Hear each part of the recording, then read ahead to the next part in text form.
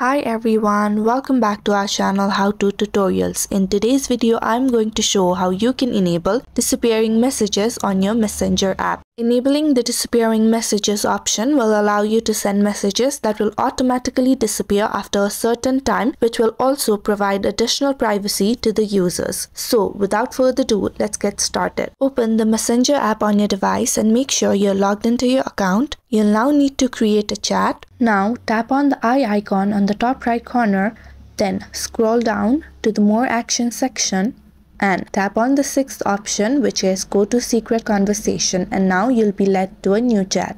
You can now simply just send a message.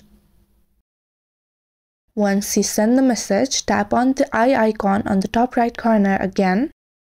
Scroll down and in the privacy and support section, you can find an option of disappearing messages. Tap on the option now finally, you'll see option of off or 24 hours. Tap on the 24 hours option and your disappearing messages will now be enabled. Now your messages will disappear 24 hours after they're sent. If you found the video to be helpful, like, share and subscribe to our channel and also leave a comment down below.